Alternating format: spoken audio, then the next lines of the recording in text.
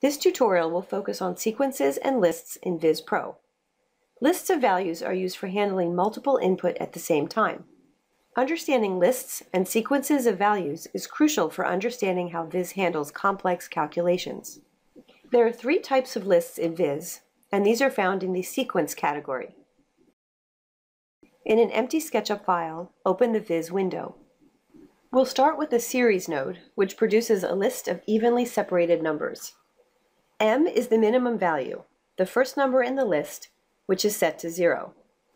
N is the number of values in the list, which is set to 10. S is the step value, the mathematical difference between each number.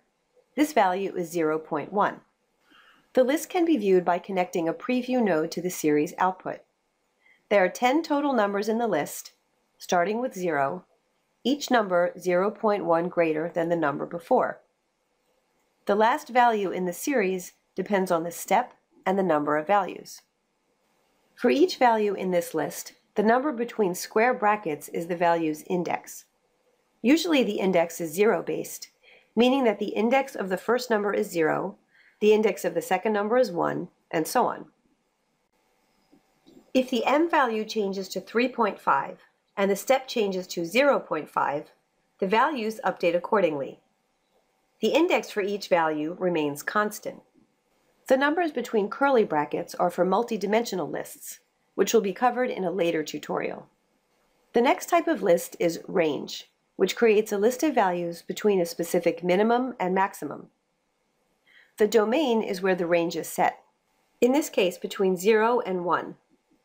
The number sets the total number of values in the list, in this case 10.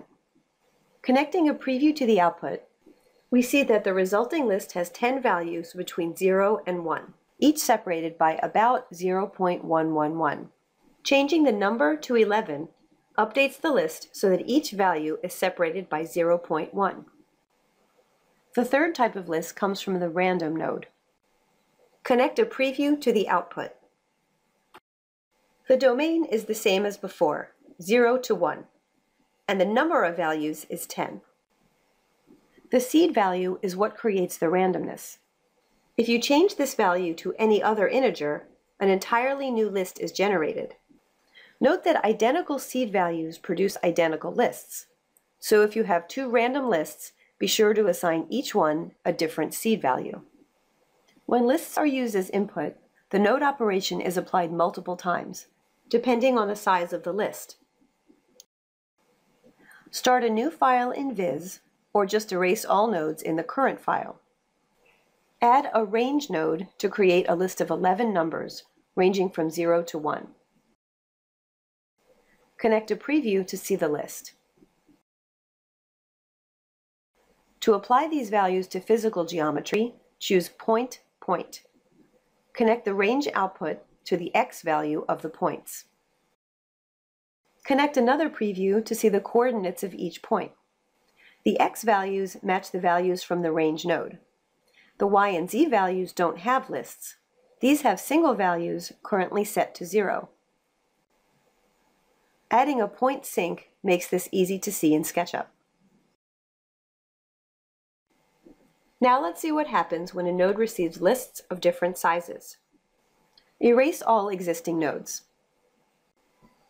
Add a range node and a point node Add a range preview and connect the range output to the point X value. Leave the list of values as the defaults.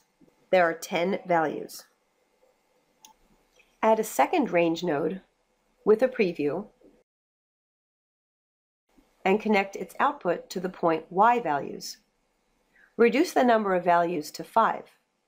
Now each value has a step of 0.25. Now connect a preview to the point output. The number of points is 10, which is the number of the longest list, the list from the first range node. The x values follow the step values from this node. The y coordinates come from the second range node. The first five coordinates follow the y step values, and after that, the last value is repeated. This is how Viz handles lists of different sizes. Next, we'll see how to match lists. In an empty viz window, create two range nodes with previews and add two point nodes. Connect each range node to each point x value. The first set of points will have y coordinates of 0, and the second will have y coordinates of 0.2. The first range node should keep the default values, from 0 to 1 with 10 values. For the second range node, change the number to 5. To keep the relative values consistent, the domain should match the first five points from the first range. The fifth value here is 0.444. So we'll make the second node range from 0 to 0.444. Now add a match short node found in the list category. This node receives two lists as input and shortens the longer list to match the shorter one. There are two outputs, the first list of points and the second, and both now have the same number of points. To see this more clearly, add a primitive line node. Connect the first set of points to A and the second to B. The first five points get lines. The rest aren't on the list any longer. Now erase the match short node and replace it with a match long. Reconnect the lists and reconnect to make the lines. There are now 10 lines matching the number of values in the longer list. The lines all start at a point from the first line, but for the endpoints, there are only five values.